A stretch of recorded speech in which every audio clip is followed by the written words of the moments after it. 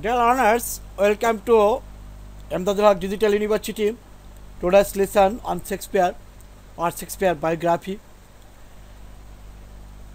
English literature প্রত্যেকটি স্টুডেন্টেরই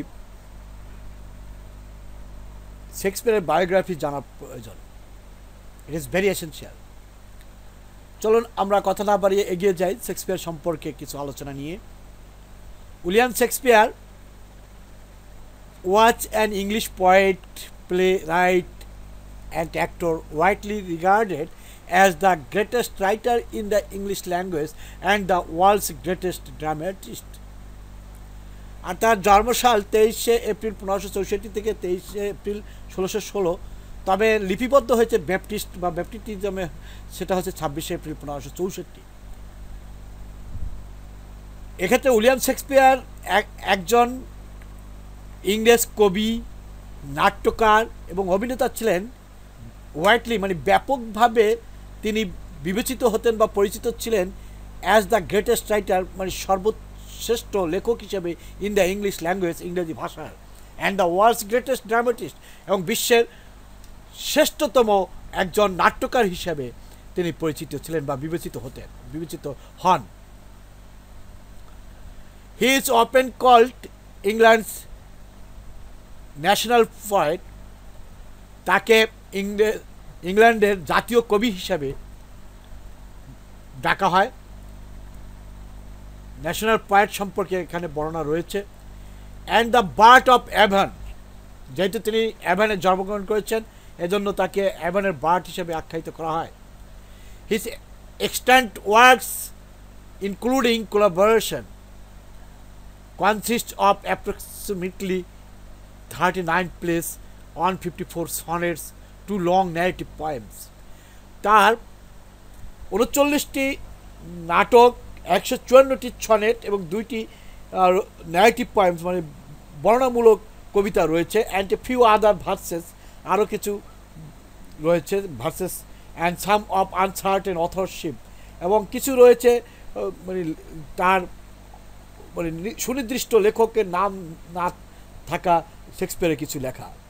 His plays have been translated into every major living language and are performed more oven than those of any other playwright his plays মানে তার নাটকগুলো have been translated ভাষান্তরিত হয়েছে into every major living plays living language যে সমস্ত জীবিত ভাষা রয়েছে, তার প্রত্যেকটি প্রধান প্রধান ভাষায় তার যে নাটকগুলো, সে নাটকগুলো রূপান্তরিত হয়েছে বা ভাষান্তরিত হয়েছে বা অনুবাদ করা হয়েছে।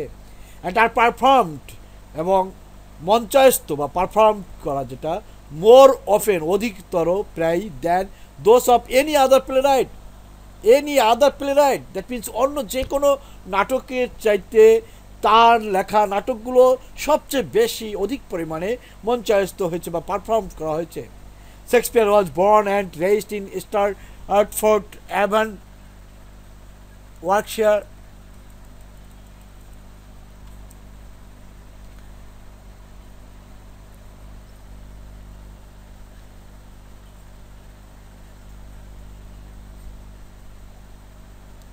আমি যেটা দেখাতে চেয়েছিলাম স্টার্টফোর্ড আপন অ্যাভান এটা commonly known as just Stratford Stratford হিসাবে পরিচিত। Is a market town and civil parish in the Stratford on Avon district in the country of Warwickshire Warwickshire যেটা ইংল্যান্ডে on the river Avon Avon নদীর তীরে ninety one miles north west of London London থেকে উত্তর পশ্চিমে একানব্বই mile অর্থাৎ একশো ছেচল্লিশ কিলোমিটার দূরে। এবং 22 miles southeast.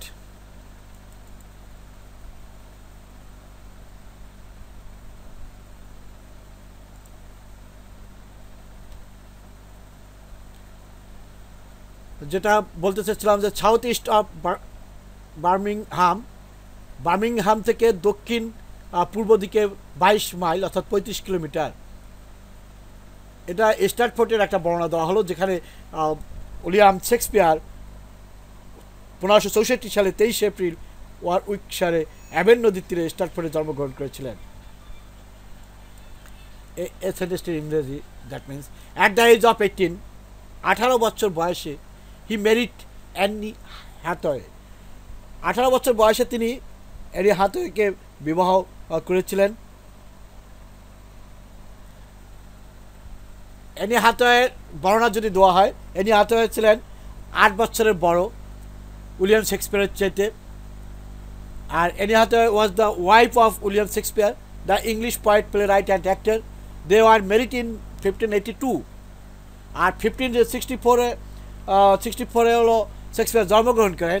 আর ফিফটিন এইটি টুতে তিনি বিবাহ বন্ধনে আবদ্ধ হন উইথ এনি হাতয় এবং এটা যেহেতু পনেরোশো বিরাশি সাল আর পনেরোশো চৌষট্টি সালে তিনি জন্মগ্রহণ করেছিলেন, তাহলে আঠারো বছর বয়সে তিনি বিবাহ করেছিলেন। When he was eighteen she was twenty six years old that means Anne Hathaway বয়স ছিল ওই সময় ছাব্বিশ বছর। যার কারণে এনি হাতে তার চাইতে আট বছরের বড় ছিলেন। She outlived her husband by seven years very little is known about her behind a few references in legal documents. Okay, he married Annie Hathaway with whom যার সাথে হি হ্যাড থ্রি যার সাথে তার ছিল হি হ্যাড থ্রি চিলড্রেন তিনটি সন্তান ছিল Susanna and twins Hamlet and Judith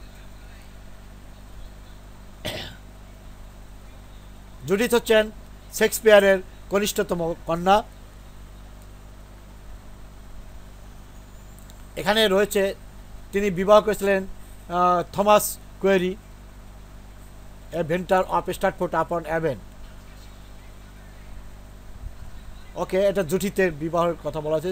sometime জুটিত হচ্ছেন শেক্সপিয়ারের সন্তান, কন্যা। Sometime between fifteen eighty five and fifteen ninety two পনেরোশো পঁচাশি থেকে পনেরোশো বিরানব্বই he began a successful career in London as an actor writer and part of part owner of a playing company called the Lord Chamberlain's man later known as the King's man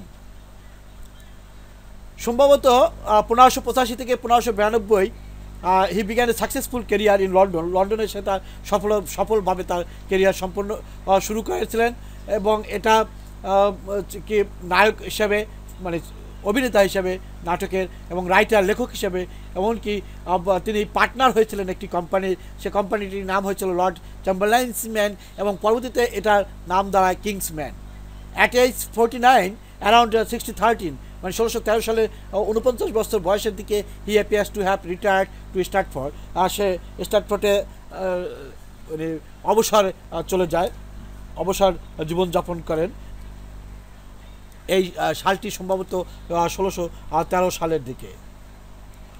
এর আগে কিছু ই ছিল যে Shakespeare শেষ জীবনের দিকে, ষোলোশো দশ, ষোলোশো বারো খ্রিস্টাব্দের মধ্যে কিন্তু কিছু রচনা রচনা করেছিলেন এবং অসমাপ্ত কাজ ছিল তার হেনরি এইট এটা ছিল তার অসমাপ্ত একটা অংশ।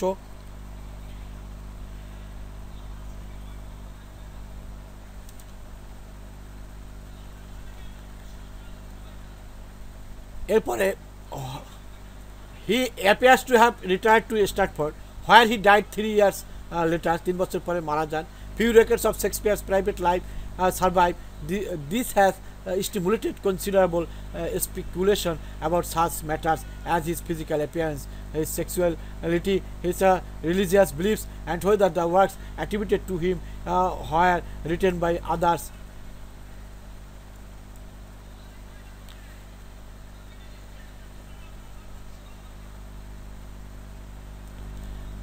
Shakespeare মূলত এখানে আরও কিছু কথা না বললেই নয় শেক্সপিয়ার এলিজাবেথেন অ্যান্ড জ্যাকবিয়ান পিরিয়ডের লেখক ছিলেন এই যে দুইটা পিরিয়ড মিলে তিনি নেতৃত্ব দিয়েছেন। আর ইংলিশ রেনেসান্সটা কিন্তু তার একটি মানে তার হাতে পরিপূর্ণতা পেয়েছে। আর শেক্সপিয়ারের যে ঘটনাবহুল জীবন, সে জীবনে কিন্তু আরও কিছু কথা এখানে বলতে হয় শেক্সপিয়ার সম্পর্কে, যে শেক্সপিয়ার প্রথম অবস্থায় কিন্তু অত্যন্ত দরিদ্রতার মধ্যে কাটিয়েছেন। পরবর্তীতে লন্ডনে এসে তিনি অনেকটা ধনাঢ্য ব্যক্তি হিসাবে পরিচিতি লাভ করেন। এবং স্বাভাবিকভাবে তিন ভাই এবং চার বোনের মধ্যে শেক্সপিয়ার কিন্তু জীবিত ছিলেন। আর অন্যরা ভয়াবহ প্লেক রোগে মারা গিয়েছিল। শেক্সপিয়ারের বাবা সম্পর্কে কিছু কথা না বললেই নয়, কারণ শেক্সপিয়ারের বাবা কিন্তু অত্যন্ত মানে যোদ্ধার সম্প্রদায়ের প্রতিনিধি ছিলেন শেক্সপিয়ারের পিতার, যে পেশা, সে পেশা নিয়ে কিন্তু অনেক মতভেদ রয়েছে। কারও কারও মতে তিনি ছিলেন ইংল্যান্ডের যোদ্ধার সম্প্রদায়ের প্রতিনিধি। আবার কেউ কেউ বলেন তিনি ছিলেন কসাই। তবে স্টার্টফোর্ড শহরের পুরানো তথ্য থেকে জানা যায় যে, জন শেক্সপিয়ার ছিলেন একজন দশটানা প্রস্তুতকারক ও নরম চামড়ার দ্বারা তৈরি শৌখিন দ্রব্যের ব্যবসায়ী। শেক্সপিয়ার সম্পর্কে আরও যে জিনিসগুলো আমরা জানতে পারি, সেটা হচ্ছে তার শিক্ষাগত ব্যাপারে বিশেষভাবে জানা যায় যে স্থানীয় অবৈতনিক বিদ্যালয়ে শিক্ষার পরে উইলিয়াম শেক্সপিয়ার কিন্তু তিনি বেশি একটা উপরে ক্লাসে পড়াশোনা করতে পারেননি। দ্যাট মিন্স ইউনিভার্সিটির যে শিক্ষা লাভ সেটা কিন্তু তার পক্ষে সম্ভব হয়নি। তবে শেক্সপিয়ার কিছুটা গ্রিক ও লাতিন ভাষা আয়ত্ত নিয়েছিলেন নিজের নিজ উদ্যোগেই। পরবর্তীকালে লন্ডনে বসবাসের সময় তিনি ফরাসি ভাষা নিজের থেকেই শিখেছিলেন।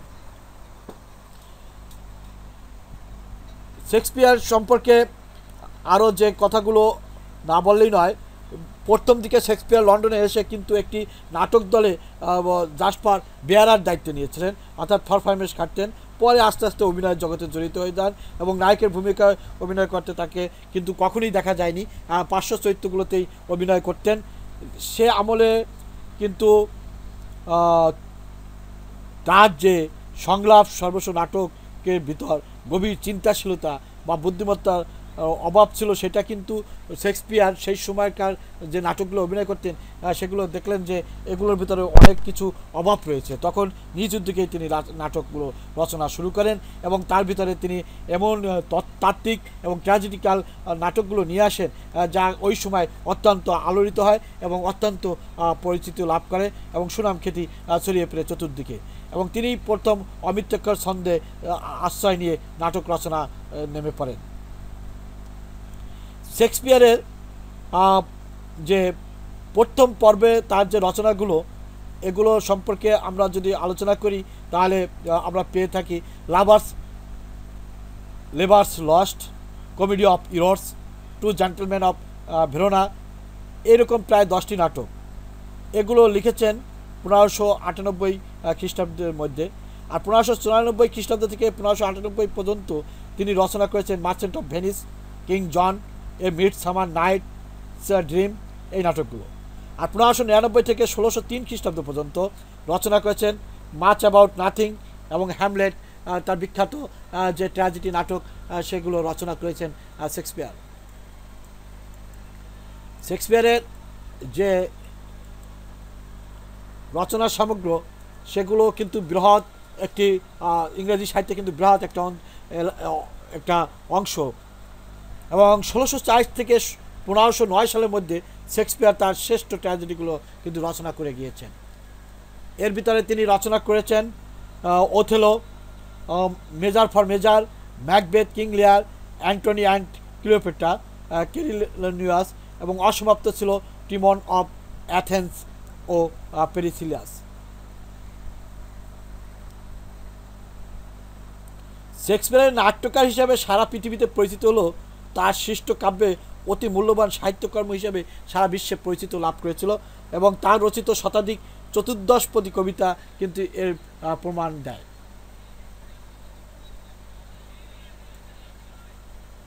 এবং শেক্সপিয়ারের জীবন লক্ষ্যে যে শেক্সপিয়ারের বন্ধু বেন জনসনের লেখা থেকে জানা যায়, ব্যক্তিগত জীবনে তিনি ছিলেন বন্ধু বৎসল দরদি মানুষ, মনের মানুষ। মানুষ ও সমাজকে তিনি সহানুভূতি এবং অসাধারণ দহদি মন দিয়ে কিন্তু প্রত্যক্ষ করতেন। মানুষের মনে নিত্যদিনের আবেগ, অনুভূতি, দ্বন্দ্ব, সংঘাতের আলোনসমূহ অসাধারণ দক্ষতায় ফুটিয়ে তুলেছিলেন তার সৃষ্টিশীল কর্ম নাটকগুলোতে। দান্তে ও পেত্তাক থেকে শুরু করে শেক্সপিয়ারের সমকালীন কবিরা সবাই তাদের ছনের সময় কিন্তু ব্যক্তিগত প্রেমের কথা লিখেছেন। যার মাঝে বাস্তব ও কল্পনা ইত্যাদির উপস্থিতি লক্ষণীয়। শেক্সপিয়ার কিন্তু সে পথে যাননি। তিনি তার ছনের সময় বিশেষ করে বেশ কিছু ছনেটে বন্ধুত্বের কথা লিখেছেন। সে সময় বিশেষ এক বন্ধুকে নিবেদিত তার প্রেম বিষয় ছনেটগুলো শেক্সপিয়ার আকৃষ্ট হয়েছিলেন সুন্দর এক যুবার প্রতি, যে ছিল তার চেয়ে বয়সে অনেক ছোট। কেমন করে তিনি এই সুন্দর দেহ সৌন্দর্যের অধিকারী যুবার প্রতি আকৃষ্ট হলেন তা কেউ জানে না। সে যুবার দৈহিক সৌন্দর্য ছিল রমণী সুলভ কমলতা, তার স্বভাব ছিল এক বাসন্তী মৃদুলতা। আঠারো নম্বর সনেটটি এই যুবা বন্ধুকে নিয়েই লেখা। যার সৌন্দর্যকে তিনি গ্রীষ্মকালে সৌন্দর্যের সাথে তুলনা করেছেন, যে সৌন্দর্যে কোনোদিনই পরিবর্তন ঘটবে না। শেক্সপিয়ারের এই যে যে জীবন থেকে কিছু উল্লেখিত তৈরি তৈরিকৃত যে বায়োগ্রাফি, সে বায়োগ্রাফিটা কিন্তু আমরা তুলে ধরলাম। এরপরে শেক্সপিয়ার সম্পর্কে আপনারা বিস্তারিত অনেক কিছুই পড়তে পারবেন।